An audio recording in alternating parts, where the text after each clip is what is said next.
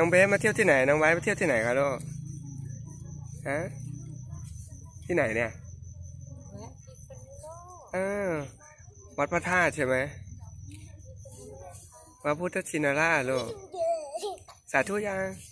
สาธุอืมเสียเบฟพวกหนูนี่สุดยอดจริงๆเลยเมื่อกี้ยังหลับอยู่เลยนะ นี่มันก็แล้วนี่มันไม่ใช่ นักละมังกรนะสาธุอย่างโลกขอให้น้องเบมน้องไว้เรียนหนังสือเก่ง